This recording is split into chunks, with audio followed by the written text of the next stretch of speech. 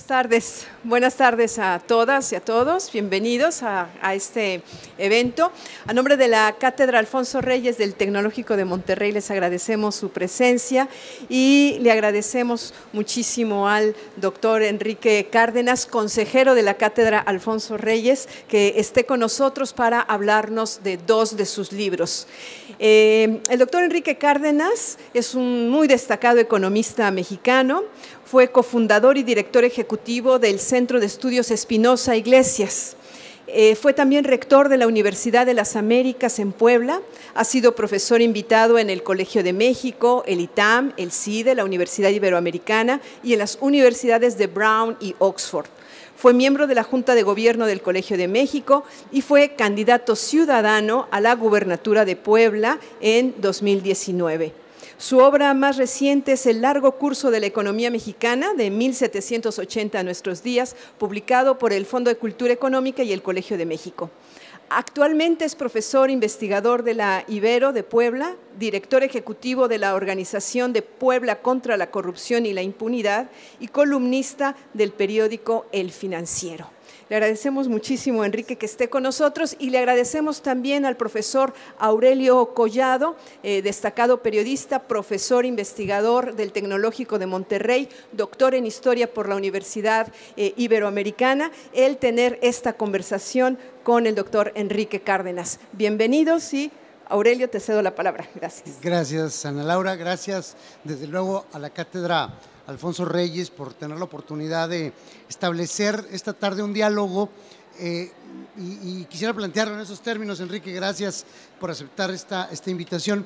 Un diálogo para eh, poner sobre la mesa, literalmente, eh, dos textos. Y déjenme comentarles rápidamente que me, me agradó mucho tener esta invitación porque eh, de entrada el, texto del que quisiera pedirle eh, enseguida a Enrique que nos, que nos comentara es un texto mm, nuevecito, recién salido de, la imprenta del mes de julio, es decir, trae datos del, mes de julio de 2019. Eh, yo de hecho no, no leí este, este volumen porque tuve la oportunidad de leerlo en un, una versión electrónica, en Kindle, gracias a la gentileza de Enrique que me mandó un PDF. y eso me sorprendió porque la velocidad a la que se están moviendo las cosas, la información eh, en estos tiempos, nos reclama una enorme agilidad. Y aquí llego eh, al punto donde quisiera detonar la conversación eh, con Enrique. El, texto al que me estoy refiriendo se llama la trama Audi, componendas de un gobierno autoritario, Puebla 2011-2019. Es un texto de Sergio Mastreta Guzmán eh, con la colaboración especial de María Eugenia Silva Selma. Pero eh, Enrique pues representa a la, base de producción de este, de este material que periodísticamente es, es notable por eh, lo minucioso, lo bien armado, lo bien hecho y lo bien narrado. Eh, eh, Puebla contra la corrupción y la impunidad, representada por Enrique, pues es una entidad que está atrás de un esfuerzo como allá hay otros en nuestro país, en donde el periodismo juega un papel determinante para dejar ver eh, eh, fenómenos, llamémosle así gentilmente esta tarde, fenómenos como el caso de la instalación de la planta Audi en el estado de Puebla durante la gubernatura de Rafael Moreno Valle y la malograda los días de eh, la gubernatura de su de quien iba a ser su sucesora, su esposa. y bueno, en, en, este contexto, este, este libro que presentamos a ustedes aquí el día de hoy, es un texto que tiene además otra peculiaridad desde el punto de vista periodístico. Eh, tiene este análisis que, reitero, es minucioso, es detallado, está eh, excepcionalmente bien documentado y con un nivel de detalle que, llama la atención. Eh, y tiene además una segunda parte contenida en él, en donde se nos da una, una visión de balance en el sentido, yo no quisiera llamar positivo, pero sí en un sentido de balance para, para darnos como, como la otra perspectiva. el caso Audi, la plataforma Audi, así se refieren a ellos aquí en el, en el texto, plataforma Audi, aunque el, el, el, el título es La trama Audi, nos, nos pone sobre un caso más, desgraciadamente, de una corrupción que tiene características que hace un minuto yo comentaba eh, eh, con Carmen, eh, que tiene una peculiaridad. de pronto decimos, bueno, oiga, ¿fue ilegal eso? No, no fue ilegal. ¿Por qué? Pues porque cambiamos las leyes. O sea, cambiamos las leyes e hicimos lo que queríamos hacer, por lo tanto, pues no fue ilegal. Es decir, es una cosa muy, muy pura, muy, muy bien hecha. y eso es lo que el periodismo, al final del día, nos ayuda a, conocer. Enrique, yo quiero empezar cediéndote la palabra, agradeciéndote tu presencia. Eh, disculpa esta larga introducción, pero creo que es interesante que podamos poner contexto a, textos como este. Eh, platícanos primero, yo, quisiera empezar por ahí, eh, de Puebla contra la corrupción y la impunidad como un esfuerzo, porque luego vamos a hablar de la sociedad civil, este, un esfuerzo para luchar contra la corrupción y la impunidad, además en un contexto como el de Rafael Moreno Valle, que no es decir poca cosa. Muchas gracias. primero que nada, muchísimas gracias a Sí se oye, sí se oye. Sí se oye. Ya. Muchas gracias al TEC de Monterrey y a la Cátedra Alfonso Reyes por esta posibilidad de presentar estos dos eh, libros eh, en esta ocasión y muchísimas gracias Aurelio por tu participación también en la mesa. Bueno, Puebla contra la corrupción y la impunidad es una organización muy joven, tenemos un año y pico de hacerla, una iniciativa de personas como ustedes y como yo que decidimos enfrentar y hacer algo en contra de la corrupción en Puebla. Somos primos hermanos, sin eh, formalizarlo, digamos. Nos han ayudado mucho Mexicanos contra la Corrupción y la Impunidad, eh, donde los directores son Claudio X González y María Amparo Casar, y que eh, pues han jugado un papel muy importante en los últimos años en esta lucha contra la corrupción y la impunidad. De modo que tenemos parte del DNA compartido, hacemos periodismo de investigación, por un lado, hacemos también litigio estratégico. Ahora platico un poco ya de lo que hay sobre eso aquí. este, y también eh, pues buscamos que haya una reacción inmediata ante hechos de corrupción flagrantes que podamos estar viendo y de alguna manera ponerle la lupa a los eh, funcionarios públicos, empresas que pudieran estar generando eh, procesos de corrupción. Entonces, sí es una institución pequeña de la sociedad civil financiada por la propia sociedad civil. No tenemos evidentemente ningún, ningún, quinto eh, del, gobierno y esto nos da muchísima libertad. Así es que eso es lo que es eh, Puebla contra la corrupción y la impunidad. Realmente este proyecto arrancó hace más de un año. Cuando fui candidato tuve yo que separarme naturalmente de Puebla contra la corrupción. Me separé eh, formalmente como una licencia. Mientras tanto, el equipo siguió trabajando y y ya terminando la campaña y demás, pues ya me reintegré nuevamente a Puebla contra la corrupción, por eso estoy acá. Así es que pues eh, eso es lo que es Puebla contra la corrupción. Pues eh, bien, pasemos ahora, eh, en este contexto, Mexicanos contra la corrupción es una manifestación importante y que ha sido notable en los últimos meses, sobre todo lo fue al final, sobre todo el gobierno de Enrique Peña Nieto. Y bueno, pues el trabajo que, que, hay atrás eh, eh, de algunos de los eh, que participan del equipo de Mexicanos contra la Corrupción y entiendo también hay vínculos importantes con el equipo que está en Puebla. son periodistas que trabajaron el caso concreto de la Casa Blanca, Enrique Peña Nieto, con, con, Mexicanos contra la Corrupción. y hay una línea muy importante de entrada a la lucha contra la corrupción por el lado de la publicidad, es decir, hacer pública, eh, eh, hacer pública la corrupción es el primer paso para, pues, para atacarla y esa es precisamente la labor del periodismo en general y concretamente el periodismo, del buen periodismo de investigación, eh, que, al mismo tiempo puede o no convertirse en un periodismo de denuncia, pero que bueno, ahí está. Todos conocemos el caso de la Casa Blanca, Enrique Peña Nieto, el equipo de Carmen Aristegui, cómo fueron eh, pues atacados, cómo fueron eh, eh, em, expulsados incluso del entorno mediático. Acá la cosa eh, se ve diferente, no obstante, el caso es muy importante. La trama Audi habla acerca de la instalación de la empresa Audi, la empresa Audi alemana, en nuestro país concretamente en el estado de Puebla, después de una serie de maniobras que encabezó el entonces gobernador, eh, bueno, incluso desde el aspirante a gobernador Rafael Moreno Valle hasta convertirse en gobernador y hasta terminar sus seis años de gobierno con ya una planta pues operativa. Eh, Ahí el problema eh, al que nos enfrentamos es a la valoración de este tipo de, acciones que les decía, eh, se disfrazan de legales, cambiando, pervirtiendo, diríamos en muchos casos, la, ley. Eh, y es el caso de la trama Audi que tenemos acá. Enrique, a ver, tú hablabas, hacemos periodismo de investigación, hacemos litigio estratégico.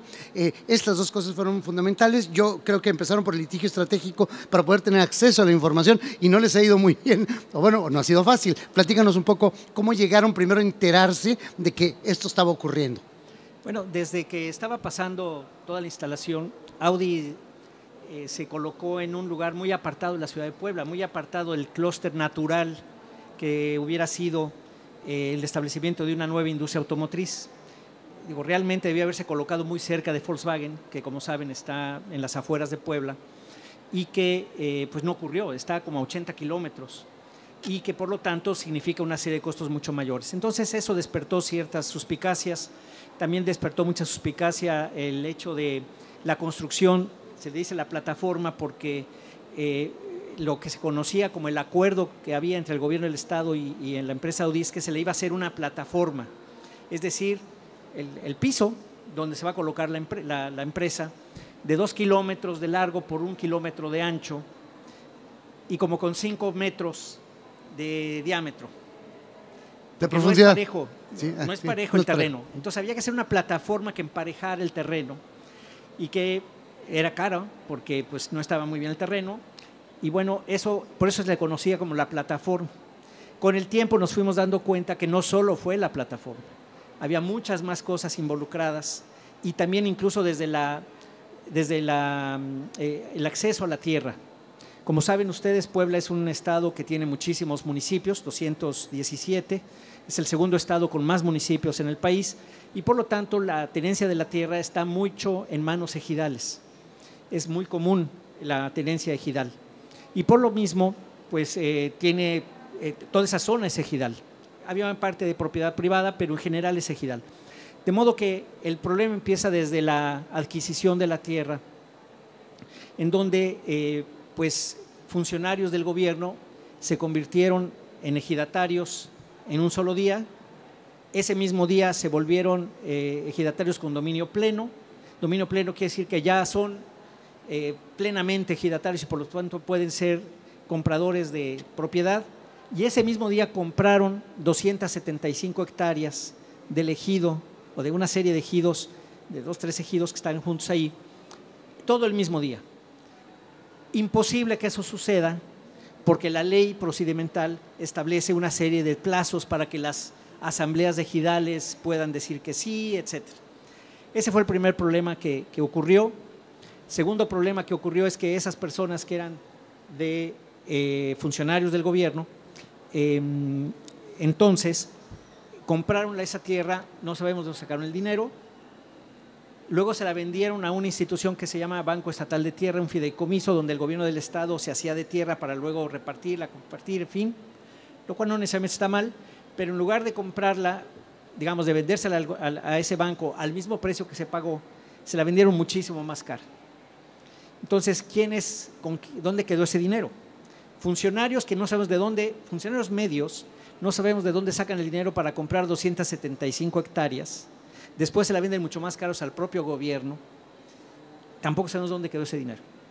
Es decir, hay una ganancia ahí y obviamente el secretario de gobierno, jefe de estas personas, pues tiene que tener una responsabilidad. Casualmente el secretario de gobierno de entonces es el mismo secretario de gobierno que tenemos el día de hoy. En el gobierno eh, de Morena es la misma persona y eh, por lo tanto pues hay cosas que hay que trabajar desde esa parte. Pero digamos, desde el acceso a la tierra ya hay un primer problema. Luego, lo que mencionas, toda la información está cerrada, toda. Eh, el contrato con Audi, eh, esto de la tenencia de la tierra, eh, todo el tipo de transacciones que hubo, cuánto se le pagó al Banco Estatal de Tierra, todo está cerrado. Ha sido, fue un calvario realmente el poder conseguir la información. El contrato de Audi se, consiguió gracias a una escritura de un predio de los N que se tuvieron que comprar, que como antecedente pusieron el contrato. En un pueblo, en un registro público de la propiedad de este tamaño, en un pueblo minúsculo en la región, ahí es en donde casi por casualidad se encontró el contrato de Audi. Y el contrato de Audi está cañón. Bueno, ya. Sí, no, bueno, eh, eh, no hacemos spoilers, o sea, los invitamos a que lo lean, les platicamos algunas otras cositas. Quisiera, eh, bueno, es que junto con esto, que, evidentemente está, lo, podemos etiquetar sin ningún temor a equivocarnos como corrupción, hay eh, se producen otras cosas. Junto con la corrupción viene un enorme abuso, es decir, hay, hay mucho abuso de, eh, eh, precisamente en el proceso de adquisición de la tierra, de gente que bueno, se queda por ahí con, con literalmente cacahuates, con tierra que, de pronto sube de precio de una manera extraordinaria y alguien se lleva esas utilidades. Pero ahí no acaba la cosa, sino que hay también una especie de fantasía, o, no, no, pude yo eh, en la lectura eh, sacar como que de dónde ocurrió esto, pero a alguien eh, eh, se le ocurre eh, que también hay que hacer un nuevo centro de población. Antes así se les llamaban nuevos centros de población. Una ciudad, vaya, una pequeña ciudad que hoy es un, un gran elefante blanco en donde no hay nada. Hay ciudad, hay edificios, calles, servicios, etcétera, que no sirven para nada más que para atender algunos eh, escolares, de hecho hay algunas instituciones escolares ahí, pero todo lo que se suponía, esa, esa ciudad que se llama ciudad modelo, que debió haber sido como el, el, lugar en donde iban a ir a vivir los hipotéticos empleados de la planta Audi, pues no, este, eso no está ocurriendo, hay una distorsión del modelo de desarrollo urbano en, esa, en esa zona, en esa región, y hay además, por si esto no fuera suficiente, una, eh, em, una ganancia que debió o se debió haber quedado en Puebla, pero que se fue realmente para Tlaxcala. Entonces, platícanos un poco a ver cómo estuvo esto y a quién se le ocurrió esta idea de tener una ciudad modelo. Eh, menciono lo del nuevo centro de población, porque así se le llamaba en las leyes eh, antiguas, y estoy hablando probablemente de los 70 eh, cuando hablábamos de crear estos polos de desarrollo, y hay, bueno, toda una documentación que han hecho muy bien el trabajo los periodistas de, Puebla contra la corrupción y la impunidad. Los invito a que, lo, a que lo vean a detalle ahí. Es muy interesante, pero platícanos, Enrique. Sí, mira, eh, efectivamente el proyecto no solo era llevar la planta, sino que lo agrandaron a tener un plan, un parque industrial para todos los proveedores de la planta. Se construye el parque industrial y a la fecha no hay una empresa.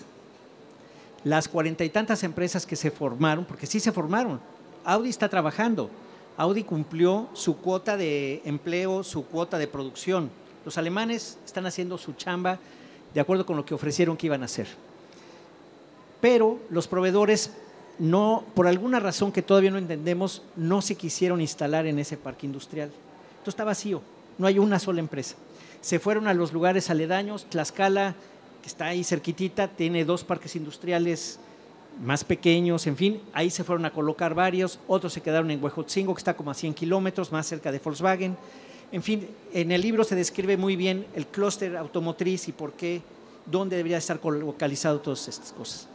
Entonces, no eh, al no haber unas más empresas, también la ciudad pues, se quedó fantasma. Y es que el tema es que había un proyecto alterno, un proyecto eh, urbano que se le encargó a la Universidad Estatal de Puebla, a la Benemérita Universidad Autónoma de Puebla, y que decía, hay varias localidades, hay varios pueblitos ahí cerca, que decían, se debe de fortalecer esas zonas urbanas que ya existen mejorarlas, adaptarlas, meterles infraestructura y que de ahí vaya surgiendo la, ciudad como ya pues medio está. Y en lugar de eso, el, eh, el, gobernador Moreno Valle decidió por una ciudad nueva, una ciudad modelo, súper moderna, eh, pero que era una implantación en un lugar en donde pues ya había otras cosas. De tener las proyecciones de varios miles de personas que iban a vivir ahí para estas fechas, viven más o menos, que yo sepa, son sesenta y tantas familias nada más, en lugar de diez mil, digamos.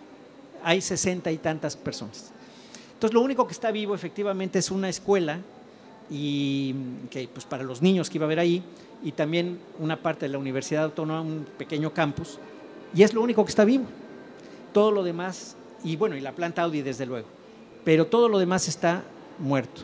Y el tema, pues sí, son los dineros. Costó muchísimo dinero. Ahorita podemos hablar de eso si ustedes. Sí, sí, sí, porque eh, hay, eh, y bueno, les dejo también un, digamos, una jiribilla, si me lo permiten. Hay que recordar que la planta de Volkswagen se instala ahí en Puebla y se instala un poco con este modelo eh, de, de, poder crear eh, un espacio en donde se instalen eh, pues las empresas proveedoras de la, de, la, de la línea de producción, de la cadena de valor que se, que se produce ahí. Pero resulta que ese, esa primera instalación fue FINSA, este, FINSA 1, y resulta que hubo un FINSA 2, es decir, FINSA de Monterrey.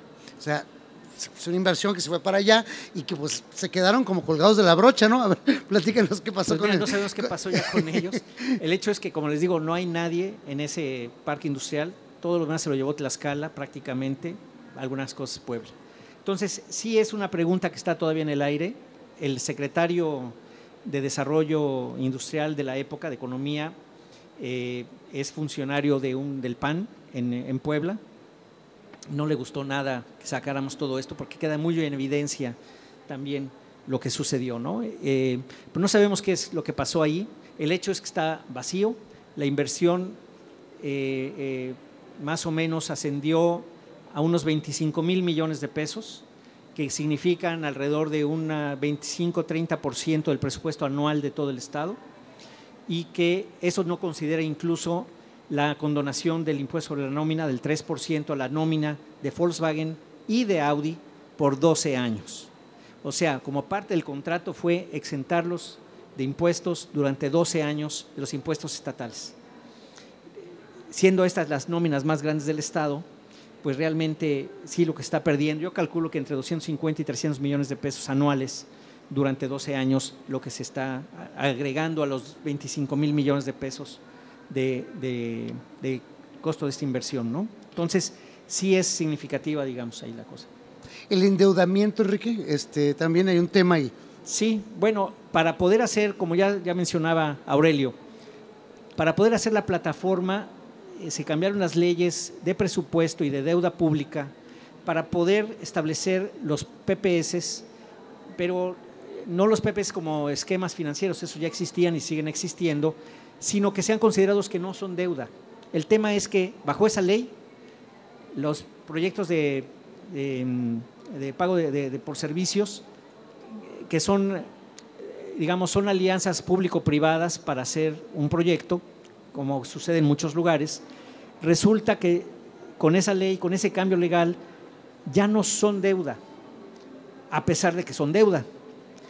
El problema de que no considerarlos deuda es que todo lo meten en un fideicomiso privado, por lo tanto no es accesible desde el punto de vista de información pública, y es un fideicomiso que funciona así. Digamos, yo empresa pago mi impuesto a la nómina en Banamex, como cajero del gobierno del Estado, de Banamex se va directo al fideicomiso, no pasa por la tesorería del Estado. Chequen esto, mis impuestos no pasan por la tesorería del Estado llega, al fideicomiso y ahí se paga lo que haya que pagar de los proyectos de inversión que han sido autorizados unilateralmente por el eh, gobierno del Estado sin pasar por el Congreso. El monto que hay que pagar es los proyectos que haya. No hay límite, escuchen bien, no hay límite para el monto de endeudamiento que se puede llegar a tener. No hay plazo ni hay salvaguardas del tamaño del endeudamiento. Y ese endeudamiento no pasa por el Congreso del Estado para que sea autorizado. Todo esto hace que sea inconstitucional, todo. Nadie ha querido meter la cuestión constitucional. Ahora, esto no solo pasa en Puebla, esto pasa por lo menos en 20 estados del país. Seguramente Nuevo León está en esa situación. Yo no podía dejar de pensar mientras leía este texto eh, en el caso Kia. Eh, y, el contrato, eh, el contrato que sigue estando reservado en el estado de Nuevo León. ¿Qué pasó ahí? No lo sabemos, pero sí sabemos que fue una situación muy similar a lo que ocurrió y sigue ocurriendo en, el estado de Puebla. Se dan una serie de circunstancias como equivalentes y que sería trabajo del periodismo de investigación si tuviéramos suficientes periodistas de investigación y hubiera quien los pagara eh, para, para, meterse, echarse un clavado, como decimos, y sacar a la luz este tipo de situaciones que en principio son irregulares, pero que luego devienen ya en franca y abierta corrupción. Eh, eh, es, es, es muy interesante eh, observar y quisiera con esto darle entrada a, lo que sigue, ser como una especie de puente, porque hablábamos al inicio de esta presentación del caso de Puebla contra la corrupción y la impunidad como organización. La sociedad civil es en este caso la que está, como lo dijiste muy bien Enrique, está patrocinando el periodismo de investigación que está floreciendo en buena medida eh, en, nuestro país.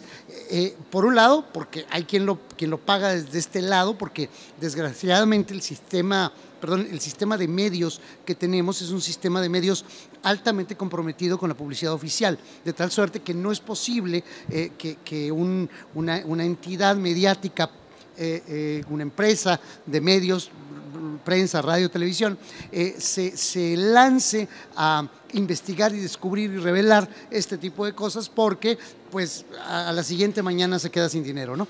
Entonces eh, tenemos un problema ahí y la alternativa que está, que está brotando con fuerza en México tiene que ver con este, este, tipo de organizaciones y otras que, que, están buscando más o menos lo mismo. Lo, lo relevante, y aquí es eh, a donde voy, es que aparece una sociedad civil eh, cada vez más comprometida primero con el, dar a conocer. Es decir, hay que, hay que, hay que, pero dar a conocer bien, y bien significa seguir ciertas reglas, cierta metodología, que eso es lo que llama mucho la atención de, la trama Audi, esa, esa, eh, eh, eh, rigurosidad que hay en la construcción de la historia. Es decir, aquí hay una historia y yo lo puedo platicar un poquito en tono de chisme, de fíjense nada más lo que pasó cuando Audi, entonces el señor fue a Berlín y entonces les dijo y ellos se vinieron y se lo pelearon contra la escala. Y, es decir, puede sonar eso muy sabroso, y lo es, ¿eh?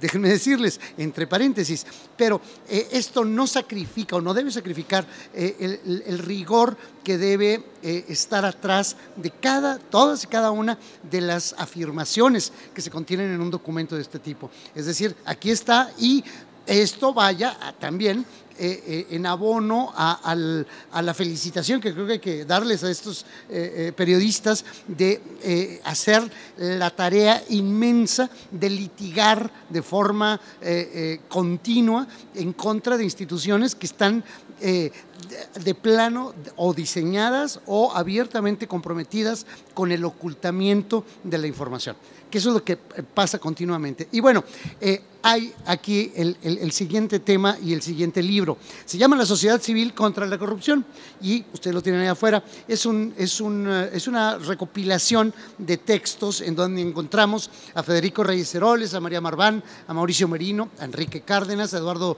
Bojorques, a Jacqueline Pechard, eh, la entidad México Evalúa, que es una entidad que, hay que observar con, cuidado también, a fundar, a, IMCO y eh, una coordinación de Alejandra Layud, que es eh, eh, pues también una activista muy reconocida, que tiene muchos años de trayectoria viendo por esto. ¿Cómo luchar contra la corrupción cuando hemos tenido a un presidente eh, como Enrique Peña Nieto que pues de plano nos zorrajó una buena mañana que la corrupción era parte de nuestra cultura. Eh, y que como parte de nuestra cultura pues teníamos básicamente que aprender a vivir con ella. Y, y, bueno, pues tratar de aguantar y bueno, no hacerla tan, diríamos por este lado, tan de tos. Pero aquí la sociedad civil la está haciendo de tos y la está haciendo de tos de forma muy particular, en varias formas, pero eh, eh, eh, el caso del periodismo de investigación es uno y el caso de estos textos, Enrique, que yo te pido que me platiques un poco y, específicamente el tuyo, sobre analizando de una manera eh, académica, muy, también con rigor, también con, con, una, con una mirada muy, muy bien puesta en eh, no solamente el diagnóstico, sino eh, en las posibles, posibles soluciones. La sociedad civil contra la corrupción, ¿cómo nace y, cómo te integras tú con esto? Sí, bueno, efectivamente es un libro diferente al, al anterior. está editado por Alejandra Layú, quien fue directora de Canal 11, pero también antes fue cronista de la Presidencia de la República. Es una persona historiadora que se ha metido mucho a crónica, es decir, a ir recuperando el presente. Y su objetivo con el libro fue encontrar cómo se construyó eh, a lo largo de muchos años esta organización, esas organizaciones civiles que se han dedicado a la transparencia, al acceso a la información y más recientemente en los últimos años a la lucha contra la corrupción. Entonces es un recuento de actores fundamentales en la historia contemporánea de México que no se les da mucho reconocimiento, bueno, en, general se les conoce por otras cosas, pero no por este trabajo. Eh, digamos, por ejemplo, Federico Reyes Heroles o Mauricio Merino son gente que ha trabajado, ha buscado la transparencia y fueron promotores desde hace por lo menos 25 años de que hubiera una ley de transparencia, de que la, información fuera abierta. La creación del INAI, por ejemplo, actual, eh, pues tiene ya muchísimos años y los precursores quienes empujaron fueron ellos. Yo estoy aquí, ahorita digo mi papel en eso, pero en, esa parte grande de muchos años, ellos son los actores principales de la sociedad civil que voluntariamente, sin cobrar un solo centavo, dedicaron muchos años de su vida y mucho tiempo de, su trabajo normal, fines de semana, lo que ustedes quieran, a construir, a construir esta, pues esta sociedad civil. Ahora, también lo que se ve en el libro es cómo se llegó a negociar el Sistema Nacional Anticorrupción, eh, que es la parte más reciente de los últimos cinco años. Ahí es en donde yo entré. Yo no, no soy parte de ese grupo, digamos, yo soy economista, como ya se dijo, y me dedico a otras cosas, ¿no? Pero en los últimos años, como director del Centro de Estudios Espinosa Iglesias, nos metimos al tema de, corrupción y me buscaron precisamente para tratar de organizar a diferentes personas y grupos que estábamos o estaban, y yo me uní, en el diseño de un sistema nacional anticorrupción. Peña Nieto, en el Pacto por México en el 2003, una de las promesas fue generar una lucha contra la corrupción. Y la iniciativa que envió al Congreso era una iniciativa totalmente absurda, en donde el SAR anticorrupción iba a ser el propio presidente de la República. Y luego los gobernadores iban a estar en un gran consejo vigilando que no hubiera corrupción. Entonces las organizaciones de la sociedad civil y personas de las que están aquí se levantaron en armas, digamos, entre comillas, a gritar lo más fuerte que pudieron, a marchar en la calle, a ir a tocar la puerta y a luchar porque eso no podía ser así. Tenía que transformarse. Esa construcción y esa, esa mm, eh, propuesta para formar un sistema anticorrupción basado en las instituciones es lo que se narra en varios de estos, eh, de, estos capítulos. Eh, como decía, en lo que a mí toca, yo sin ser experto en, en temas de corrupción, me volví experto porque me tocó estar organizando las reuniones. Eran complejas porque las personas son de muy diferentes visiones. Había abogados que querían que todo fuera penalista, había otros que eran de administración pública, había que, los otros que eran de transparencia y rendición de cuentas. Entonces, eran perspectivas muy distintas y ponerlos de acuerdo costó trabajo. Pero bueno, es la descripción de este libro en donde a mí me parece que puede ser muy inspirador para las, las, eh, las generaciones nuevas, los jóvenes que están aquí, muchos de ustedes, porque eh, sí te dice cómo, eh, vamos, una, una historia, te relata una historia de qué pasó para que se pudiera conformar un sistema anticorrupción que ahora está teniendo muchos problemas por la misma razón que no existía anteriormente Y es que la clase política no quiere que exista. Lo sabotea todos los días, todos los días. En el actual gobierno se está saboteando también todos los días. Entonces es una lucha permanente para que esto pueda funcionar.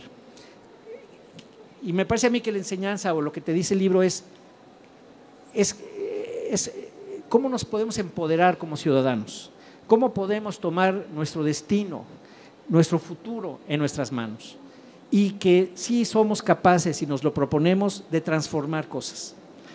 La propuesta del presidente se le dio totalmente la vuelta y se construyó un sistema basado en instituciones, con siete instituciones, en donde se logró incluso lo que nunca pensamos, que el presidente del, Sistema Nacional Anticorrupción fuera un ciudadano, un ciudadano electo en forma, en dos etapas. Por un lado, el Congreso elige a un grupo de notables, digamos, como quiera que se puedan llamar, a nueve personas de la sociedad civil, y esas nueve personas socialmente reconocidas son las que eligen a los miembros del sistema. Entonces, el logramos despartidizar la elección de esas personas. No por eso se resuelve todo. Hay que luchar, hay que estar seguro que la gente que llega tiene sus, los pantalones bien puestos o las faldas bien puestas o como quieran. No, no voy a ponerme técnico, pero la verdad es que lo que se necesita sí es que le entre. La clase política no quiere, no quiere nada que se le parezca a la, lucha contra la corrupción. Las organizaciones aquí mencionadas y Mexicanos contra la Corrupción es quizás el flanco más atacado de, de las organizaciones civiles en los últimos meses y años. Atacados por todos lados, porque no quieren que esto ocurra. La estafa maestra, ¿se te olvidó preguntar? Uy, sí, claro. La estafa maestra es de Mexicanos contra la Corrupción. Bueno, pero ya Rosario, ya supimos que sí tenía de qué preocuparse. Ella sigue en la cárcel. Pero Nada más ella. Pero no cumple con el tema del sistema, porque lo que se dice es que en corrupción hay redes, no es una persona sola. Una persona sola se tiene que coludir con varios más son redes. Y eso es lo que se trata de poner en el sistema. Entonces, de eso trata este otro libro. Em, son entrevistas que hace Alejandra Layú a cada una de estas personas, donde se describe qué fue lo que pasó. Y uno puede ver, por ejemplo, en el mío es con un detalle, cierto detalle, las negociaciones y dónde fueron los puntos de quiebre. ¿Cómo fue que se logró? Negociaciones en Los Pinos, por ejemplo, con el consejero eh, jurídico de presidencia, con el jefe de la oficina de la presidencia, que estaban muy duros de, para poder lograr estos cambios. Y, bueno, pues se fue avanzando y luego con el Senado, eh, senadores y diputados igual, hasta que se logró ese cambio. A pesar de haber sido exitosos, el resultado no es para nada en la práctica lo que necesitamos ni lo que buscábamos todavía. Yo tengo fe en que se puede echar a andar bien, pero de eso se necesita mucha voluntad política. Y por eso es que algunos luego nos metemos en la cuestión política sin ser políticos, pero tratando de cambiar las cosas y empujarlas desde dentro. En fin. Bueno, fuiste candidato al, gobierno de Puebla después de, todo lo que ha pasado. Eh, ¿Qué opinión te merecen los esfuerzos que está haciendo o no eh, Barbosa como gobernador para pues destrabar algunas de estas cosas, porque ahorita adelantaste que, que, pues de los que ya estaban siguen y, como que no hay eh, o no, no, no se no, cristaliza un verdadero cambio, por lo menos en el caso de Puebla. ¿Cómo, lo ves? Mira, no, definitivamente no hay voluntad. Eh, lo que les digo a los políticos de oposición es que el libro este es un arsenal. Este libro pues tiene unas cuantas páginas, pero hay 40 anexos en la red, en la página del libro, donde pueden ustedes encontrar una copia del contrato, copia de las escrituras y estamos yendo por la parte litigiosa. Quisimos entregar este libro a todos los miembros del sistema, que son siete organizaciones, digamos, la Auditoría Superior del Estado, el Instituto de Acceso a la Información Pública, la Secretaria de la Función Pública, el eh, Consejo de la Judicatura, o sea, quienes forman el sistema. Solamente de los siete, de los seis, solamente uno de los funcionarios se dignó recibirme para entregarle el libro. Todos los demás no me han querido dar la cita, llevo ya como tres semanas. Este, ya se los mandé por oficialía de partes y en unas dos semanas estaremos dando una conferencia de prensa eh, diciendo que ni siquiera se han dignado a recibirnos. Pero, eh, pero más, perdón, eh, pero hay tarea que hacer para todos ellos, para todos. El Congreso, por ejemplo, que ahora es del partido contrario, tiene que cambiar la ley tiene que quitarle esta parte inconstitucional que tiene, tiene que hacer que esa deuda sea deuda, que sea transparente, que el Congreso tenga que revisarlo. La Auditoría Superior del Estado tiene que hacer también su tarea. La Fiscalía Anticorrupción también. Y ya nomás, porque sí quiero decirlo, eh, quiero comentarles que el rigor no solo se trata de que haya rigor por la cuestión casi académica, se trata de que haya rigor para que podamos perseguir los delitos. Es decir, están las copias, muchas veces certificadas, de las escrituras, de las asambleas de los ejidatarios, etcétera, para poder ir a los tribunales a través de los abogados y levantar denuncias, incluso denuncias penales. Me tocó estar en la fiscalía con la fiscal anticorrupción hace 10 días. Eh, para llevarle el libro, fue la única que me lo recibió, como les digo, y platiqué con ella y, llevábamos ya un expediente, una denuncia de hechos sobre eh, toda la parte de la Secretaría de Gobernación, incluyendo al secretario actual.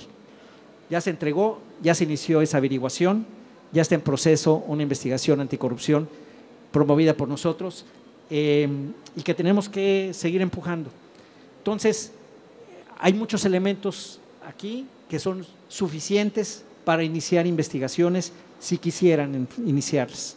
Y donde no quieren, que casi siempre es el caso, nosotros hacemos, tenemos que hacer la denuncia prácticamente, el expediente, el expediente que les entregamos fue así, para que entonces persigamos los delitos. No es algo que los ciudadanos deberíamos estar haciendo, la verdad. Las instituciones deberían de funcionar y hacer su trabajo. No lo están haciendo y los ciudadanos tenemos que empujar. Eh, em, cuando te escuchaba, eh, mm, no sé si lo saben ustedes, pero hace unas horas eh, Transparencia Internacional liberó los resultados de la encuesta que realizan anualmente sobre la percepción de la corrupción en el mundo y México, adivinen qué, volvimos a salir mal, pero esa no es toda la historia. Seguimos saliendo mal desde hace 10 años de forma continua. Es decir, cada año nos va peor. Eh, ahora perdimos cinco lugares, estamos en el lugar 138 de 180 eh, y la cosa pues no, no, pinta que vaya a mejorar pronto. Eh, la situación, desde luego, tiene que ver sí, con una medición de, una, de un enfoque sobre la corrupción. nos percibimos y nos perciben como corruptos. Y esto, desde luego, a la larga, pues daña este, y cuesta, que eso es que eso es un dato también bien interesante. O sea, nos cuestan eh, tres, cuatro puntos del PIB. Eh, en el caso de México, eh, no recuerdo la cifra exacta, a lo mejor te lo sabes un poquito mejor que yo, pero sí hay un costo económico asociado a el ejercicio de la corrupción en México.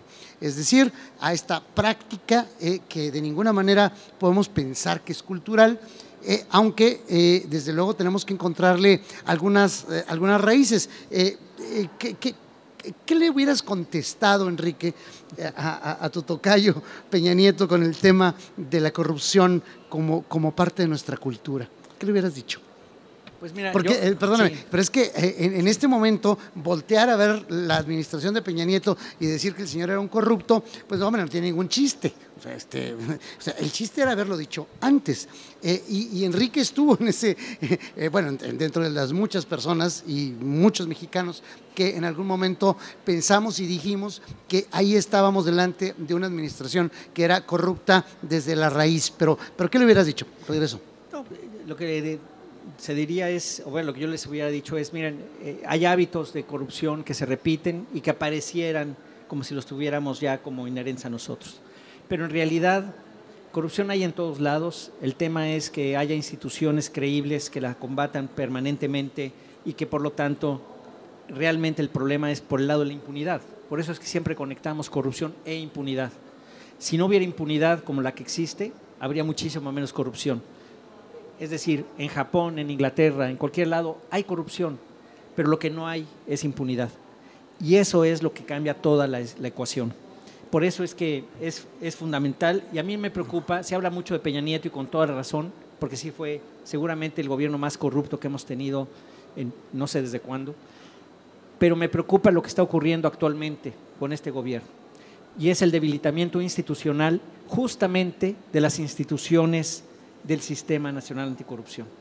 Es decir, el que las propias instituciones por sí mismas están siendo golpeadas está llevando a que en la práctica sea imposible luchar contra la corrupción, institucionalmente hablando. Por ejemplo, si perdemos la independencia del Poder Judicial, eh, sobre texto de que se está luchando contra la corrupción de algunos magistrados, por ejemplo, lo de Medina Mora apenas, ¿no? Estamos quitándole independencia a un elemento clave del sistema.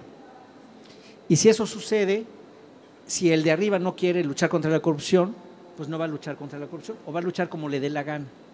El sistema está hecho para que cada institución funcione con pesos y contrapesos claro que si ninguna institución funciona y si todas se pliegan al Poder Ejecutivo, por ejemplo, no va a servir el sistema, no puede servir.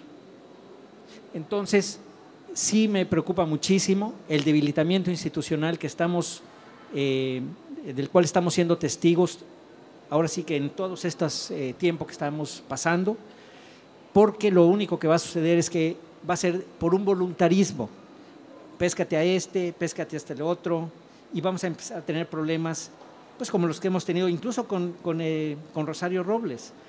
¿Ella es sola? No, no está sola, son muchos más. No puedes tú quitar un ministro por amenazas de que le bloquean las cuentas y luego se las desbloqueas cuando ya renunció. Eso no se puede hacer. Eso es debilitar al Poder Judicial hasta la médula. Y por eso, por eso es que necesitamos como sociedad civil tomar el toro por los cuernos, hacer lo propio y decir, no nos vamos a dejar. Si nosotros, ustedes y yo, todos nos ponemos las pilas y decimos, no nos vamos a dejar, no nos dejemos. Es indispensable, es indispensable que tomemos ese papel. Si no nos metemos, la sociedad civil, en la vida pública, nos va a pasar lo que decía Platón. Entonces, las sociedades que se desentienden de la vida pública están condenadas a ser gobernadas por los peores. Y así estamos.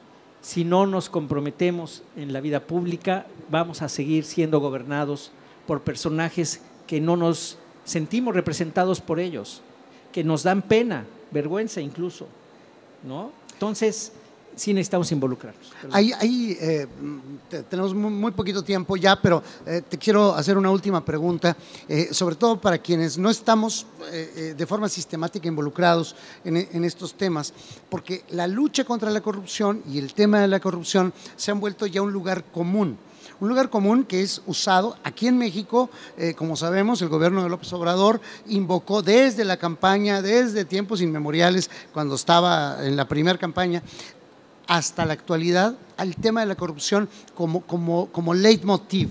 De, todas las cosas, como, como razón de ser, como solución a todo. Eh, Donald Trump está haciendo lo mismo. Y, está, Donald Trump está luchando contra la corrupción en Ucrania. Este, y ese es su, su, argumento de peso para hacer cualquier cantidad de cosas que tienen que ver con la frontera sur de los Estados Unidos. es decir, hay, hay, un, hay un discurso hay una construcción, argumental que con, la corrupción como, como corazón trata de justificar cualquier cantidad de cosas. ¿Cómo le hacemos para distinguir a, quienes están de verdad empeñados en luchar contra la corrupción y a quienes están empeñados en usar la corrupción como un pretexto para hacer cosas como las que describes? Sí, pues mira, yo te diría que lo que necesitamos es em, estar conscientes de que esto tiene que ser sistémico, institucional, no por el voluntarismo, si alguien quiere o no quiere hacerlo, sino que necesariamente se haga. Y la única manera es cuidar a nuestras instituciones, es asegurarnos de que no pasan por encima de ellas. No está fácil, creo que estamos viviendo tiempos muy difíciles en ese sentido y que en la medida en que no podamos responder y repeler esas agresiones institucionales, a pesar de que haya causas, causas eh, razonables por las cuales se tenga que meter, por ejemplo, en cintura algunos magistrados o lo que sea. Estamos hablando de dos cosas distintas. Una cosa es que donde haya corrupción, en donde sea, vayas contra ella, y otra cosa es que con ese pretexto te cargues a las instituciones. Es lo que no se vale. Nos ha costado mucho trabajo construirlas. ¿Por qué? Lo que les acabo de mencionar, ni tantitas ganas tiene el gobierno, la clase política, de ponerse límites. Ni tantitas tienen. Por si fuera por ellos, preferirían vivir en la ley de la selva. Y lo que hacen las leyes justamente es acotarlos. Y les choca, les choca que los acotemos, les revienta. Y por eso es lo que necesitamos hacer. O sea, creo yo, estar empeñados en que nuestras instituciones están a sanas y están a salvo de este tipo de cosas. Y la segunda es la información. La información es un bien público, quizás el más escaso y el más valioso que tenemos el día de hoy en sociedades como esta o como Estados Unidos. La información verídica, confiable, verificable, se está volviendo un bien escaso cuando debería de ser un bien público al cual todos pudiéramos acceder y del cual todos pudiéramos abrevar. Al final de cuentas, al final de cuentas nosotros, los, digamos, todos los ciudadanos somos quienes mandamos. Y me gustaría nomás comentarles, alguien me ha preguntado, bueno, ¿qué pasó? ¿Cómo te fue en esa aventura política que tuve este año? Y el año pasado también. Y digo, me fui a dar una paseadita por el infierno. y en el infierno pues están los diablitos, ¿verdad? Bueno, la metáfora que mejor se me ocurre para esto es pensar en la mitología griega. Entonces tienen el Olimpo con los dioses que se reparten las cosas, se pelean entre ellos. Si deciden mandarles un rayo fulminante a la gente que está allá abajo, pues se los mandan. Y los, y los seres humanos que están allá abajo en la tierra, pues nomás están observando cómo aquellos se pelean, no, somos, no son capaces de influir en, en lo que hacen allá arriba. Más o menos así estamos. Los ciudadanos no somos importantes para los políticos. Me da mucha pena decirlo, pero es la puritita verdad. Les valemos sombrilla. Todos, los ricos, los no tan ricos, los pobres, todos. Es muy feo lo que le estoy diciendo, pero es la verdad. Si ustedes me dicen, ¿qué aprendiste de estar allá en el, allí en el infierno un ratito? Es, no les importamos nada. Por eso vemos lo que vemos. Y si eso lo podemos internalizar y decir, ¿por qué? Nosotros somos los que tenemos el poder, no ellos. Eso es lo que tenemos que cambiar acá y acá y acá. En los tres lugares, acá, acá y acá de esa manera. Y así podemos quizás hacer frente a lo que estamos viviendo, no solo en México, sino en el mundo, porque sí estamos viviendo una descomposición tremenda en muchos ámbitos. Enrique, en nombre de la, de la Cátedra Alfonso Reyes, eh, te damos las gracias por haber aceptado estar con nosotros, presentarnos estos dos textos y a todos ustedes eh, muchísimas gracias por haber estado acá. Eh, ahí están los textos, no se los pierdan, no hubo spoiler, de veras, hay cosas bien importantes, bien interesantes en cada uno de ellos. Que tengan ustedes buenas tardes, que disfruten el resto de la tarde aquí en la Feria del Libro. Muchas gracias.